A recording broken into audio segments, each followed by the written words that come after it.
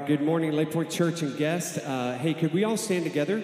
And what I'd love to do is, I would love for us just to start this service off with a word of prayer. So let's uh, pray together. Heavenly Father, we are just in, incredibly honored that you are in this place. Holy Spirit, we know you're here. We ask you uh, that you move and have your way. Speak to our hearts, Lord, through the, through the worship, uh, through the speaking, through the preaching of your word. I pray, Father, your fellowship will be strong. And I pray, Lord Jesus, that you do an incredible work in our midst, in our lives here today. We give you praise for all that you've done and all that you're going to do. In Jesus' name, amen and amen. All right, uh, I hope you're ready to worship. We've got some uh, great songs here lifting up to our great God and King who does great things. And uh, we're going to lift him up in Jesus' name.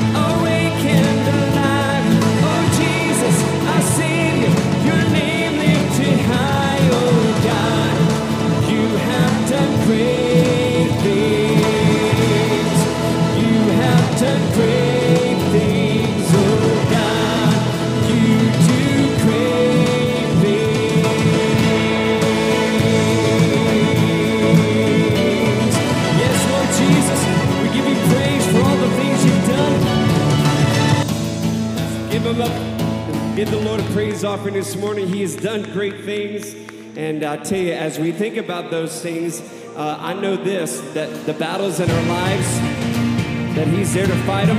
That right there is a great thing. He's there with us through every storm. When all I see is a battle, you see my victory. Oh, we all have battles to face. When all I see is a mountain, you see a mountain moved. And as I walk through the shadow, your love surrounds me. Thank you for your love. There's nothing to fear now, for I am safe with you. I'll fight our battles, Lord. So when I fight, I fight on my knees with my hands lifted high. Oh God, the battle belongs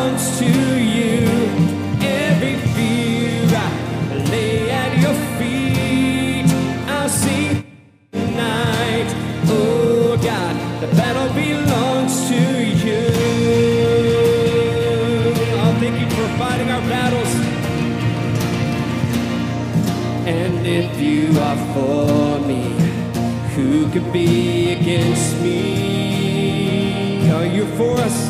Thank you, Jesus. For Jesus is nothing impossible for you. When all I see are the ashes, you see the beauty. Oh, he's turning ashes into beauty. When all I see is a cross, God, you see the empty tomb. Oh, thank you, Jesus, for the empty grave. So when I fight, I'll fight on my knees with my hands lifted high. Oh God, the battle belongs to you.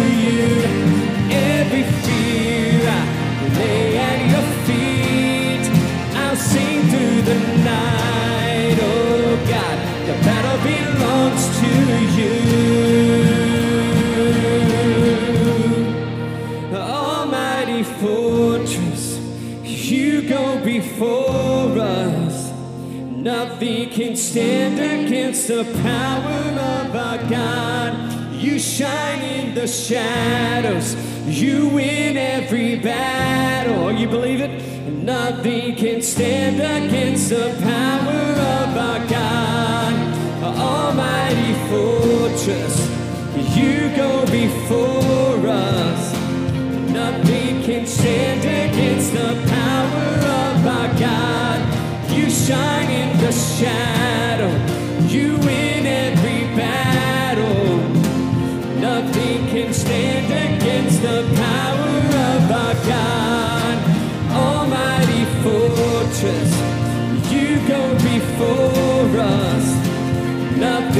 Stand against the power of our God. You shine in the shadow. You win every battle. Nothing can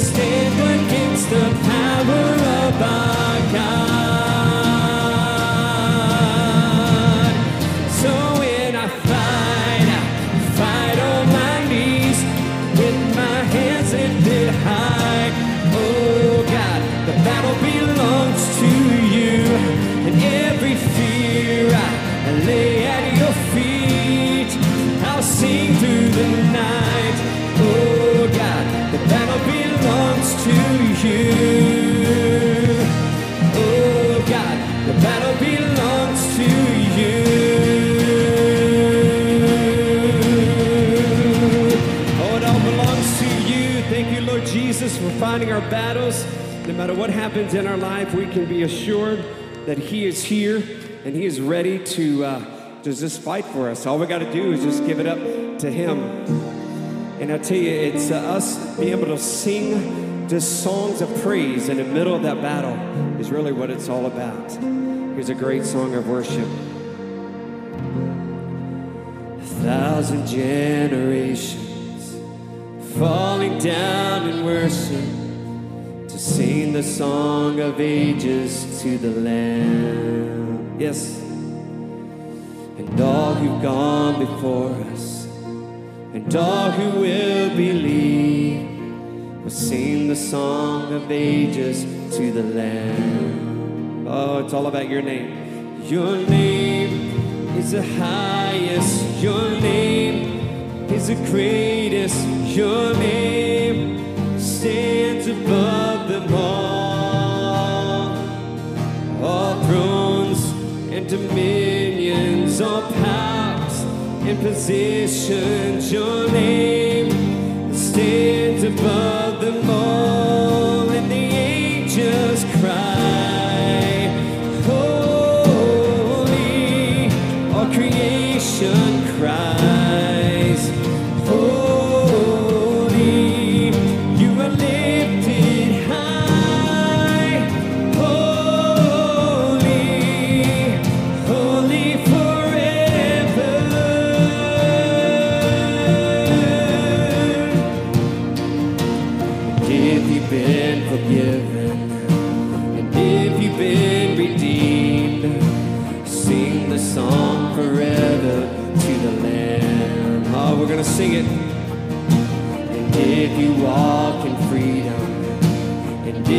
bear his name. I'll sing the song forever to the Lamb. All I sing it out. Yes, we'll sing the song forever.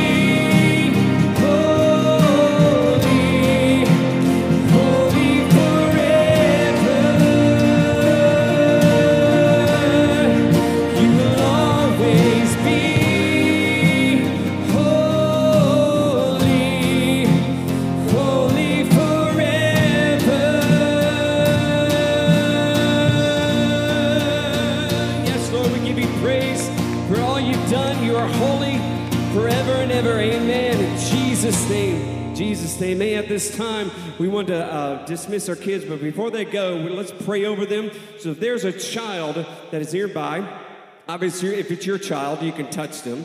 If it's not your child, don't touch. It. But just uh, like stretch your hands out towards them, and let's uh, just pray uh, a prayer that they will be uh, filled with what God wants to have for them today. Lord Jesus, we come before you, thanking you, Lord, for the children. Lord Jesus, you loved the little children. You love them, Father. You show that in your word, and you do not want anybody to hinder them from coming to you, Father. We all need to approach you as a childlike faith. And I pray, Father, that you will do a great work in the hearts of them. Lord, be with all of our volunteers from birth all the way up to fifth grade, Lord, as they work with these kids and as they teach them about God's love and what Jesus has done for them. In Jesus' name, amen and amen. Hey, let's give him a praise and uh, just uh, congratulations for being here and wanting to go back there. Awesome. You guys, please be seated at this time.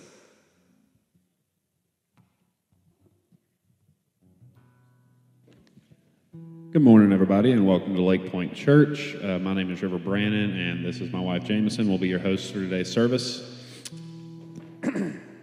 We're honored that you're here uh, to join us here at Lake Point Church. Uh, there's multiple ways that you can connect with us here if uh, you are a first-time guest um, or if you're watching online. Um, the first way is you can uh, fill out a virtual connection card by going to lakepointonline.com forward slash connect. Um, that will take you to our virtual connection link, and you can fill out your information there. Uh, second, if you're here in service, um, you should have received a bulletin when you came into service today. There is a QR code located on that bulletin. If you scan the QR code, it will take you to that same online connection point.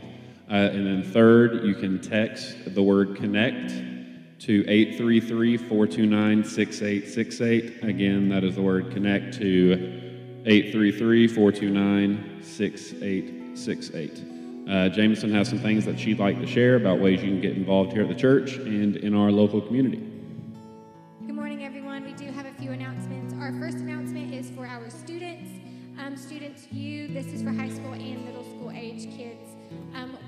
Going to Lake Point Station on Wednesday to play laser tag and do bowling. Um, that is $12 to be able to do that. You can sign up on our website or through the church's mobile app. Our next announcement is also for the youth. This is a one day mission trip that we are taking not this Monday, but next Monday, July 17th, um, to the Atlanta Community Food Bank. You can sign up to do that as well on the website or the mobile app.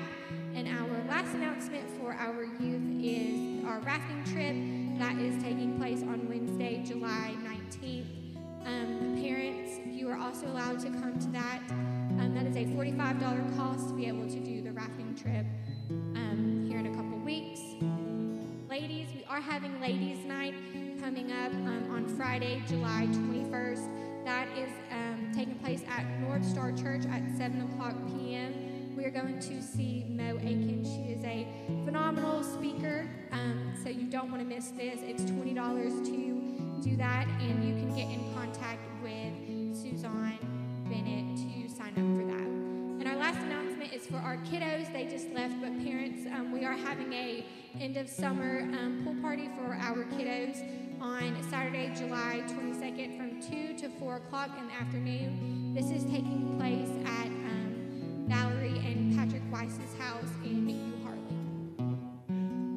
And one final thing uh, this past week we went and watched the Sounds of Freedom film. Uh, it is really eye opening and really good. Uh, there is ways to get free tickets online. So if you research the movie uh, Sounds of Freedom, um, you can get free tickets online to go watch the movie uh, in what that the, the, theater. Yeah, the theater. It's really good. So highly recommend going to watch it. Um, but other than that, we invite you to stand and greet those around you. Good morning. Okay, as we close out this uh, music portion of our worship, if everyone can please stand, come out to your, uh, your place. Uh, we're we're going to introduce, we're not introduce, we, we've been singing this song for a few weeks, and uh, I think by now, I think we can kind of own it a little bit uh, as, a, as a church, uh, meaning be comfortable singing it. And um, it's a, simply, a song that's simply called Jesus Does.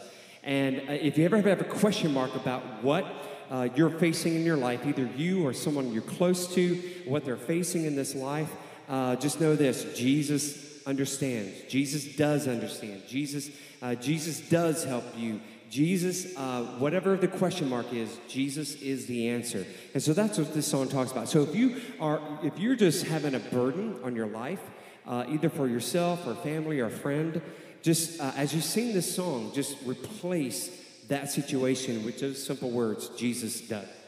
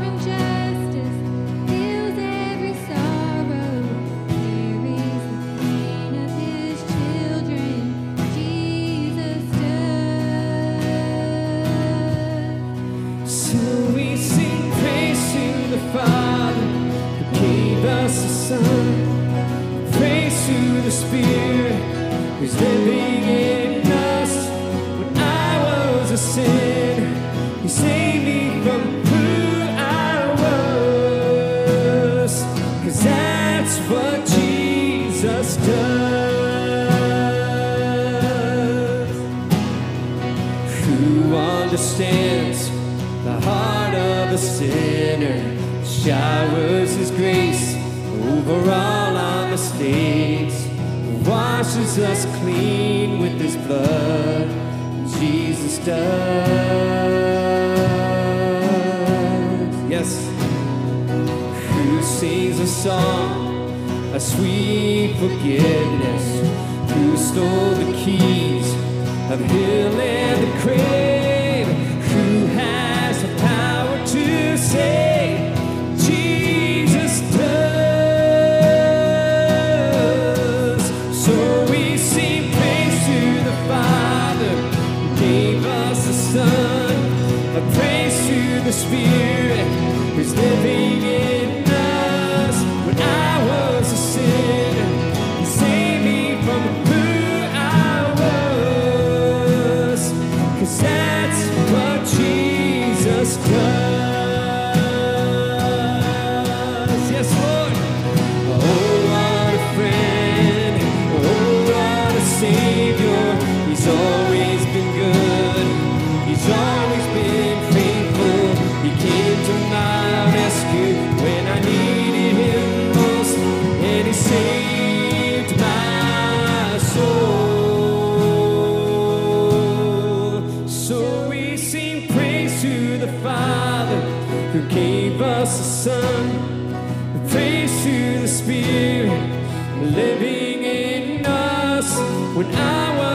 a sinner, He saved me from who I was.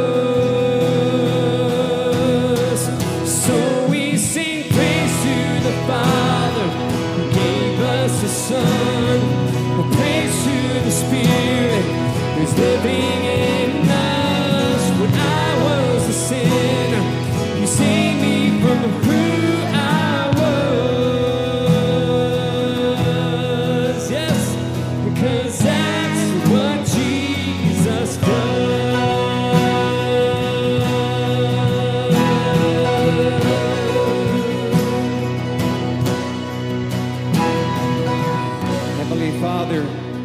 thank you for giving your son Jesus to down the cross for us. Thank you, Jesus, for suffering for us. Thank you, Jesus, for taking all of the, the pain away. Even though we still pain, feel pain on this earth, Lord, Jesus, because you took on suffering yourself, we can rest assured that you have been wh- where we are. Jesus, you, uh, you suffered greatly on this earth, not only on the cross, but you even had friends family, loved ones that passed on. You felt that pain. Bible says you even cried. And Lord Jesus, you, you felt rejection. even by your closest friends. You know what that feels like. And on top of that, you you felt the pain of the cross and the beatings on your back and the crown of thorns. And so Jesus, we know what you we know that you I know what it feels like to be hurt. So we're not alone. And Jesus does. Jesus does understand. Jesus does feel your pain. Jesus does understand it all. Thank you, Jesus. In your precious name we pray. Amen. Amen. Please be seated at this time.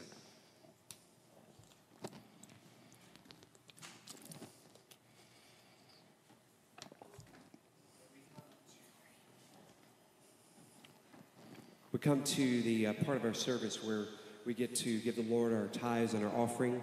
Before we do that, I want to let you know that um, so the month of July, we're not in a um, in a series, and uh, so uh, Pastor Terry and I, Pastor uh, Terry is our discipleship pastor, and so he and I are just tag teaming on some things that we feel like God has has been speaking to us, and not that sermon series we he doesn't speak through us, obviously we because he does. Um, but in, in, the month of July, just things that are fresh, things that are on the forefront of, of what God has been uh, dealing with us, and uh, in our quiet time and our time with Him. And so this is sort of a, a, a fresh look of, um, of the Holy Spirit speaking to our lives. I spoke last week. He's going to speak today. Then we're just going to tag team out uh, through the month of uh, July. But I will say this: in the month of August, um, we do have a series um, on prayer coming in August. And I'm telling you, this is something that I know prayer is powerful, prayer is important, but as a church, um, and you'll see, we're going to be rolling out some things on prayer. And so um, just kind of get ready for uh, to put your prayer hat on because we're going to be asking our church to do some very big things and believe in some very big things in prayer. And prayer is going to uh, be uh, even more evident in our services and uh, so you'll, you'll kind of see that as we approach that. And so I'm really, really excited about this series starting in August. But until then, uh, we're going to be tag teaming of that. But we're asking the Lord to bless our tithes and our offering. And if you want to give to Lake Point Church, if you're here, there's an offering box in the back with offering envelopes. You can feel free to do that. If, if you want to give online, if you're that kind of uh, giver, uh, you can just simply uh, go to lakepointonline.com, go to give at the top, or you can uh, simply go to um, uh, your phone and you can text the word give to uh, 833 uh, 429 6868.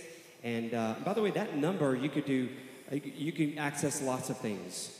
like, for instance, one thing we launched this week is if you want to listen to the upcoming songs for Sunday, we'll try to load them up around Tuesday, but um, for the follow for the uh, upcoming week. But you could type the word songs S O N G S uh, to that same number, and it'll give you a link to uh, a YouTube link that has the playlist of the songs for the upcoming week, and you just listen to those. So that way, on Sunday, you're ready to go, and you're familiar with the songs. And uh, so, um, so that that phone number is really used for lots of things. And uh, um, if you have prayer requests, type in the word prayer, and uh, it'll it'll take you to a form you can fill out.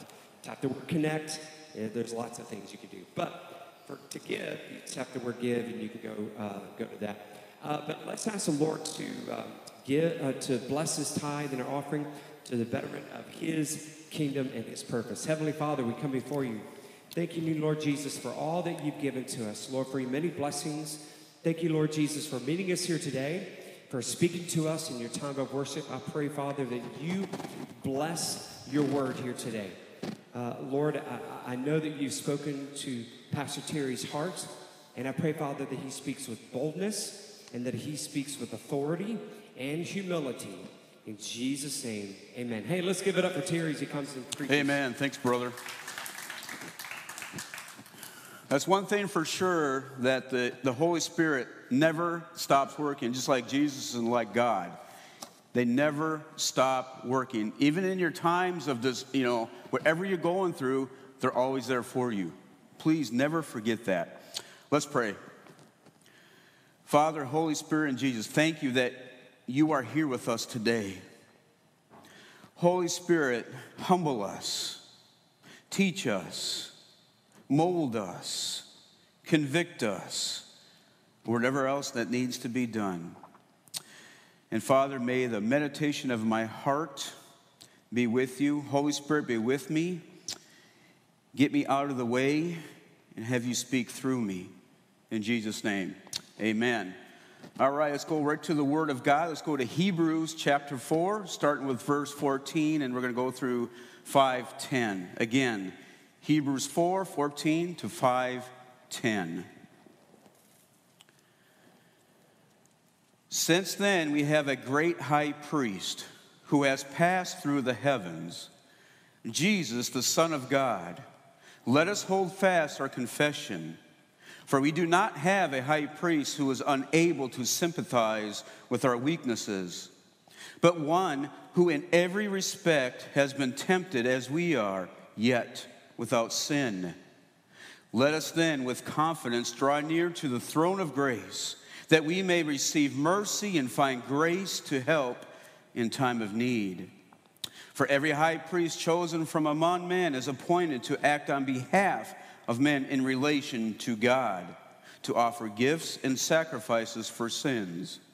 He can deal gently with the ignorant and wayward, since he himself is beset with weakness.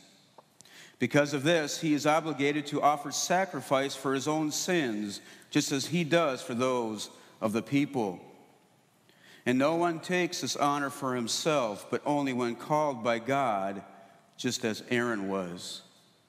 So also Christ did not exalt himself to be made a high priest, but was appointed by him who said to him, You are my son. Today I have begotten you. As he says also in another place, You are a priest forever after the order of Melchizedek. In the days of his flesh, Jesus offered up prayers and supplications with loud cries and tears to him who was able to save him from death, and he was heard because of his reverence. Although he was a son, he learned obedience through what he suffered. And being made perfect, he became the source of all eternal salvation to all who obey him being designated by God as a priest after the order of Melchizedek. The overall theme of this message Jesus, our perfect priest. For those that have been in church for many years and been in Bible classes and personal devotion, you know when, when somebody says priest, right? But sometimes when we are kids like me, growing up in the late 60s and early 70s, when you hear the word priest, what does that conjure up in your mind? Right? For me, it's like, okay, what you saw on TV and certain movies, you had a Catholic priest, right? That was my thought as a child of what a priest is and who that he became, whatever. And sometimes you've seen priests in movies, right? There were some weird movies back in the 70s, like The Exorcist, right? You know, that, that, that young girl floating above the bed. And I was young, I'm like, Oh my. But who was there to help? The priest, right? So sometimes we have a different version of a priest in our mind, but we know in Scripture it's different than the real world. A very simple definition of a priest is a person who has the authority to lead or perform religious ceremonies. In Scripture, the high priest was the supreme religious leader of the Israelites. The office of the high priest was hereditary and was traced from Aaron, the brother of Moses of the Levite tribe. The high priest had to be whole physically and holy in his conduct. Think about that. The high priest had to offer sin offering not only for the sins of the whole congregation, but also for himself. This was interesting to me. I was doing research. When a high priest died, all those confined to the cities of refuge for accidentally causing the death of another person were granted, freedom. So you kind of wonder the people that were outside of Israel that were waiting for a priest to die to have freedom again. The most important duty of the high priest was to conduct the service on the Day of Atonement, the 10th day of the seventh month of every year. Only he was allowed to enter the most holy place behind the veil to stand before a holy God. Having made a sacrifice for himself and for the people, he then brought the blood into the Holy of Holies and sprinkled it on the mercy seat, God's throne. He did this to make atonement for himself and the people for all of their sins committed during the year that just ended. It is a particular service that is compared to the ministry of Jesus as our high priest. In understanding the role of the high priest, we can better comprehend the significance of Christ offering himself for our sins once and for all. Through Christ's sacrifice for us, we are sanctified and set apart for Him. By entering God's presence on our behalf, Christ has secured for us an eternal redemption. Eternal redemption. As Paul has written, for there is one God and there is one mediator between God and men, the man, Christ Jesus. Our first point this morning is taken from Hebrews 4, verses 14 to 16. Jesus, as our high priest, identifies with us. He identifies with us. Here in verse 14, obviously, we have that Jesus is called a great high priest. He is a great high priest that is better than Aaron, better than any other man as a priest. After Jesus made the sacrifice once and for all on the cross, it says he passed through the heavens. But basically, there's been some debate on what those heavens are, but you know what? I'm not concerned about that because I'm concerned where Jesus is right now. He is there where God is right now, in God's abode. Jesus went to where God Himself dwells. Jesus did not pass through the tabernacle or the temple. This is the holiest of all holies as Jesus there with God. Jesus has not left that place, He is there now. He is seated at the right hand of God. Because of Jesus dwelling with God, this puts the end to the Jewish priesthood of all the rituals and all the ceremonies and all the sacrifices. You know, I wonder, I even wonder now when, when all these sacrifices were made how much blood was spent. Even the smell of dead cattle. I think some of us, we know when we run by a dead animal on the road, if it's been there for at least one or two days, it stinks. Skunks are number one. They just smell. Could you imagine all the bloodshed that would take place leading up to the Day of Atonement? Hold fast is to persevere, that is, to keep our confession. So, what is that confession that it's talking about? Well, it's very simple. It's our confession of our salvation that we believe in Jesus Christ died on the cross for our sins and that he arose and now is seated at the right hand of God. That's the confession that we have to have. And I'm telling you what, the world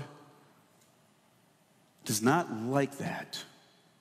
You see, the world wants to confess their agenda because if you're not for them, you're against them. Even if you humbly disagree with them, it doesn't matter to the world. But we need to hold fast. We need to persevere in our faith. I know it's difficult at times. Been there and done that, and I still will face those difficult times. Keep your faith.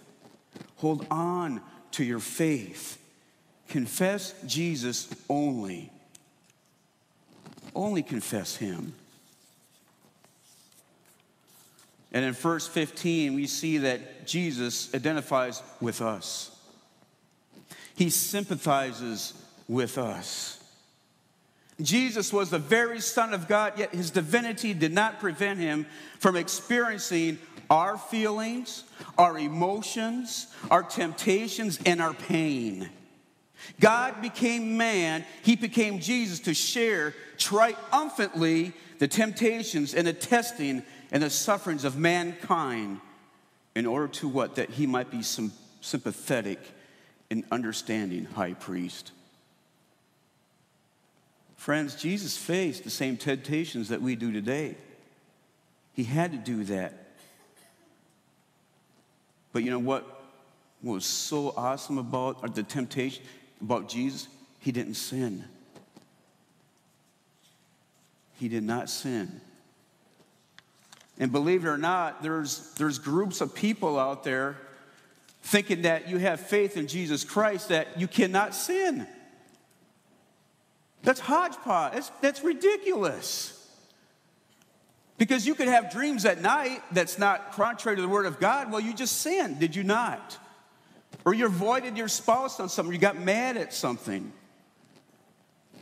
Jesus never sinned, and that is so important. In verse 16, we as believers can draw near to God because of his sacrifice on the cross.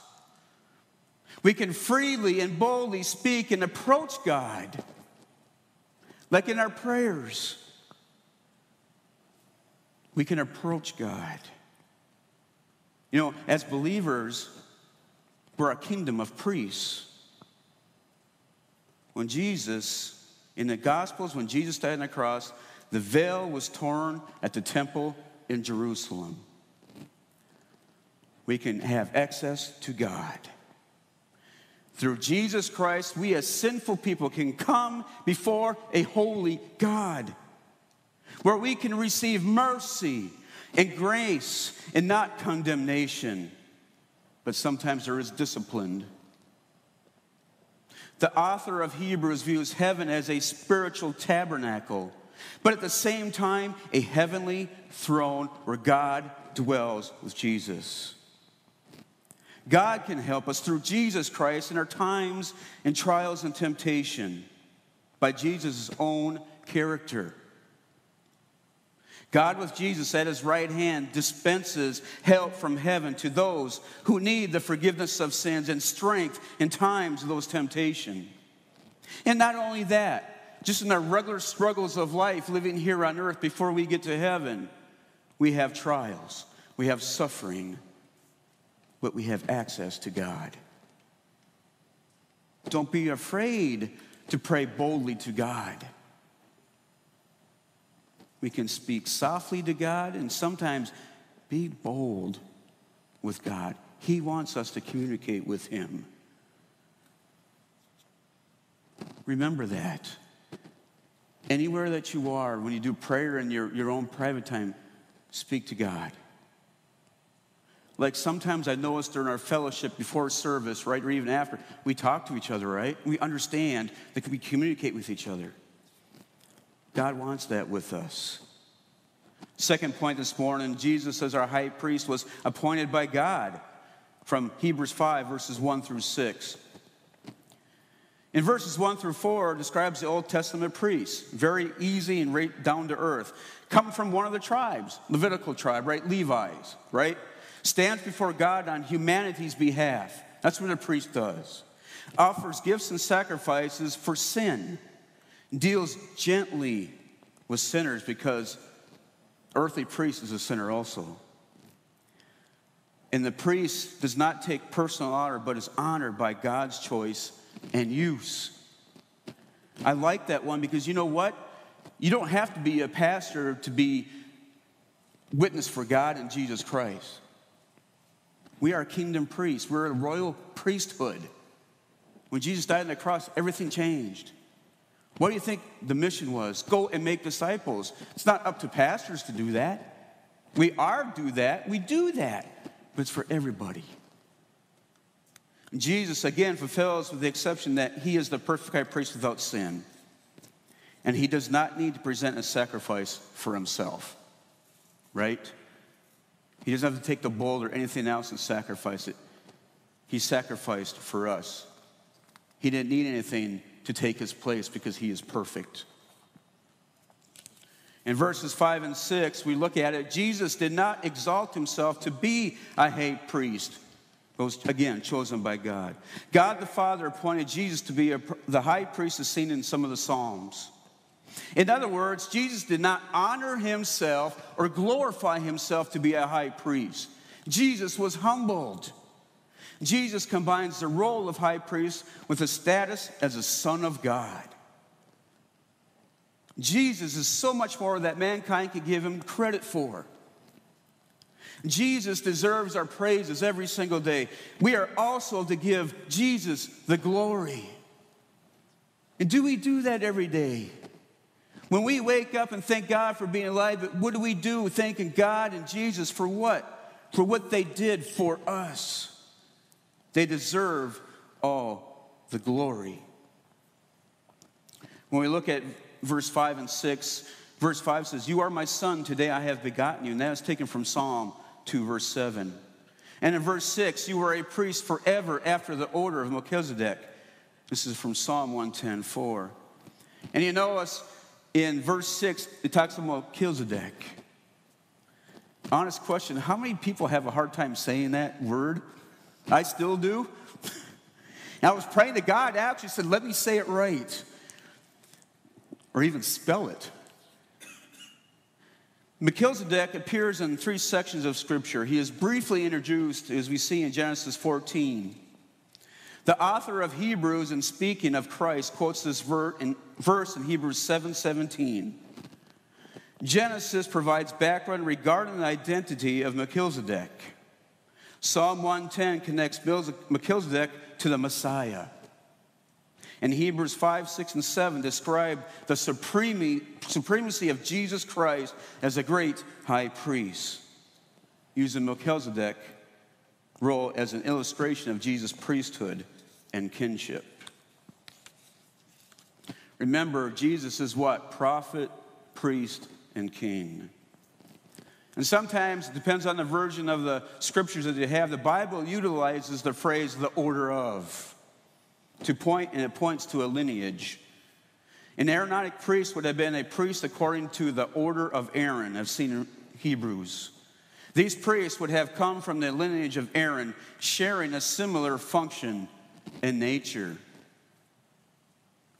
Genesis 14 is the crux of what, what we see about Melchizedek describes him as the king of Salem, which become what? Jerusalem, and the priest of God Most High. And I love this one too. Abraham recognized him of his priesthood through his tithing of possessions he had taken in battle. Scripture, he did not hesitate. He didn't hesitate. He recognized who Melchizedek was and is.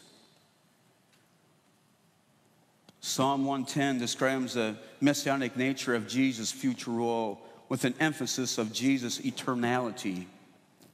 It is in the context of Jesus' kinship that David writes about the Messiah as being a priest forever in the order of Melchizedek. Priests, according to the order of Aaron, were not kings, but were priests alone.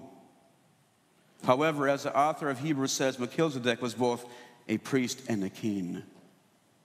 In the same way, Jesus holds a dual role of king, priest, and also prophet.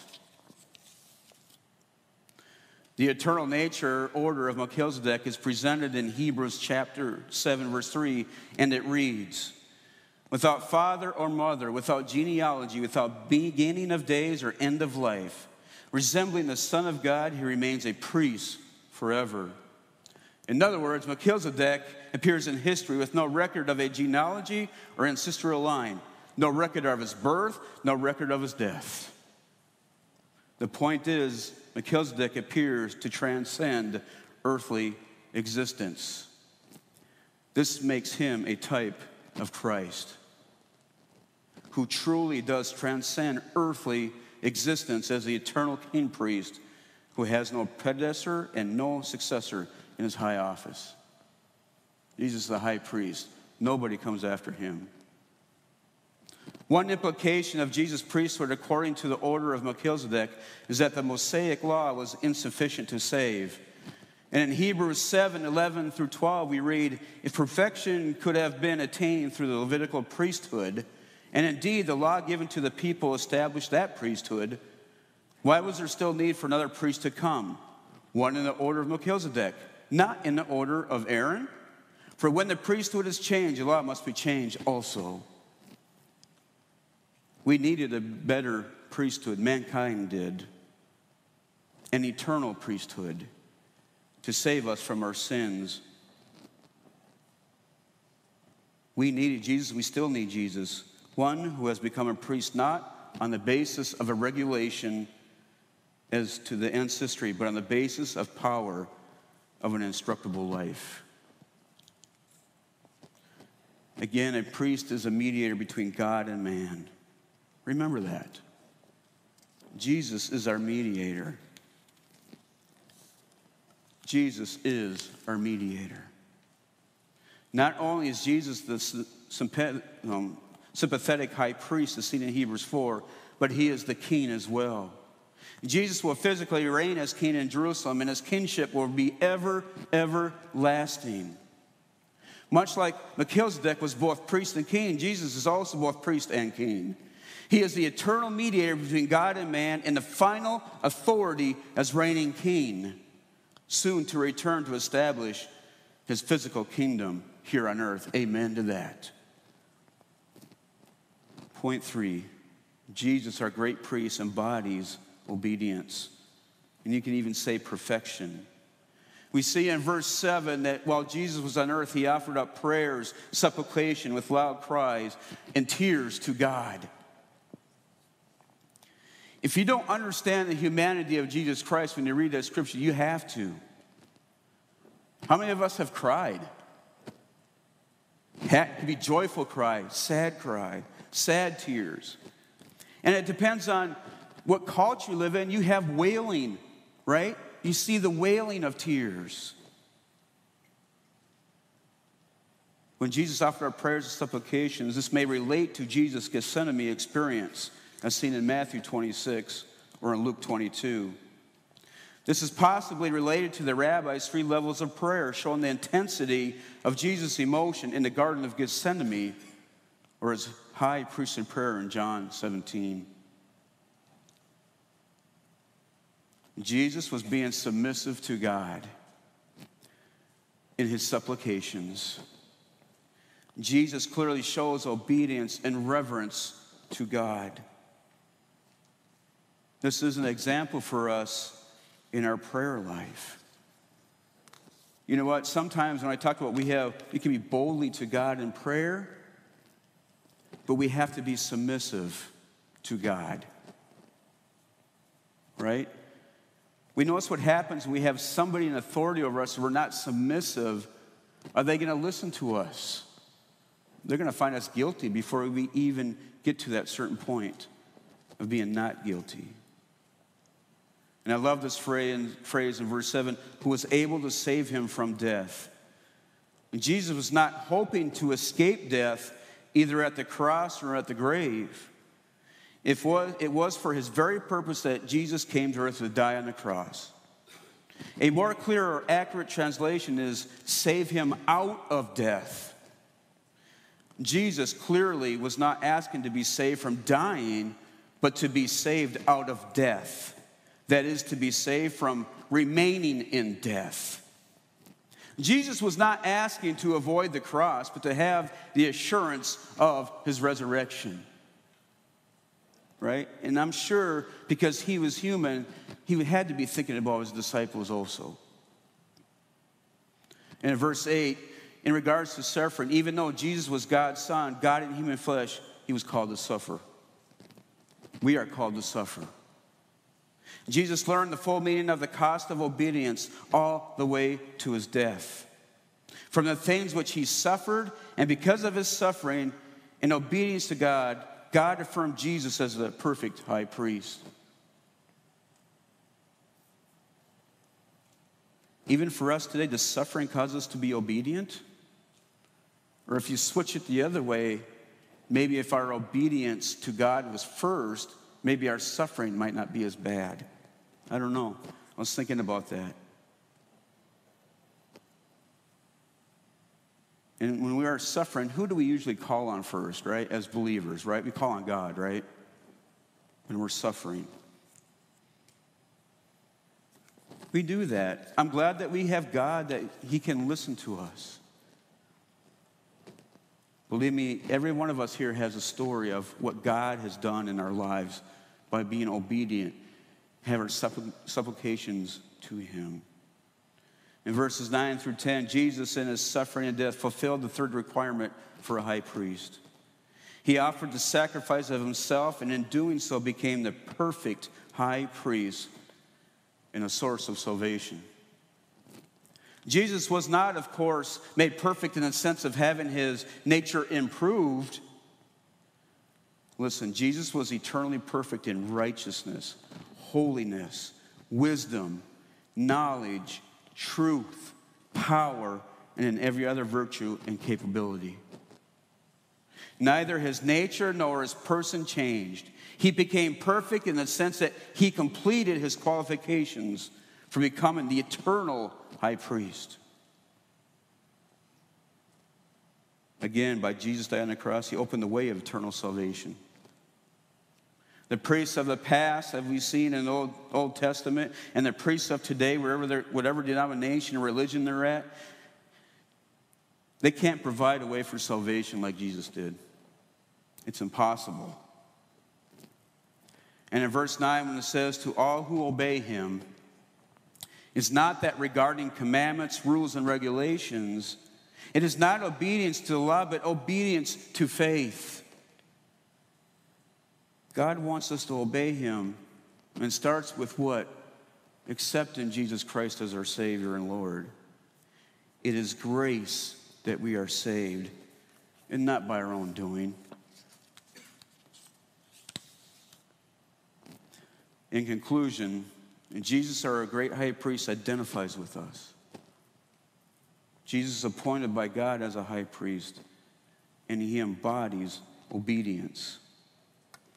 One thing that came to my mind, and I was preparing this message a little bit when was, we were up in Minnesota. You know what? This should be part of evangelism. And I was thinking to myself, well, we don't really share that, that Jesus was a high priest. Because in the culture that we live in, some people see a priest as what? You've seen on TV, right? Or the bad side of it with the sexual misconduct, right? So people have a wrong picture of a priest. So you know what? When you talk to someone, incorporate Jesus as high priest because he's perfect. He is there for us, he's there for the world. So as we close, uh, heads bowed down for a moment, I'm going to read you something that when I was on the track doing some prayers and getting ready for worship, that these lyrics really struck me out. It's from a song, Once for All, by a group out of Australia, CityAlight. And I, I, I think I play at least three or four times a week because I need that refreshing every day that once and for all He died for me. Our God, He bridged the great divide to offer us eternal life, sending hope within a man. Oh, His love, it never fails and his love, it never fails. He came to flesh to fight our cause, with power to tame the ocean's roar. Taking on our sin and shame, he has opened up the way, he has overcome the grave. And now we live forever free because of Christ, the offering. No fear in life, no stain in death, for our God has come for us, and our God has paid the debt. Father, we thank you for what Jesus has done in our life. And Holy Spirit, remind us every single day not that only Jesus died for our sins, but that he is there for us now as a perfect high priest. In Holy Spirit, Father God and Jesus, I pray that whoever need, needs Jesus, that they would come and accept Jesus as Lord and Savior. Father, we humbly thank you for, for what you did on the cross. And we all look forward to the day when you come back and establish your earthly throne. And we cannot wait, Father God, that when we are in heaven, we'll be perfect. There'll be no crying, no hurt, no pain, no suffering. So, Father, we do give you thanks for today, thanking you for not only physical life, but eternal life. We ask this in Jesus' name. Amen. Thank you, Pastor Terry. Man, uh, I love this passage of Scripture um, talking about Jesus, high priest, and I'm going to just focus in on one little passage, uh, one verse here. Then let us approach God's throne of grace with confidence so that we may receive mercy and find grace to help us in our time of need. Now, you may think, how can I approach the throne of grace? How can I approach the throne of God with confidence? I mean, I've, I've done lots of things. I've thought about things. I've, I've, I've talked about people, just whatever is in your life, whatever you've done. It's like, I, I'm not worthy to approach God's throne. You're right. You're not worthy, and neither am I.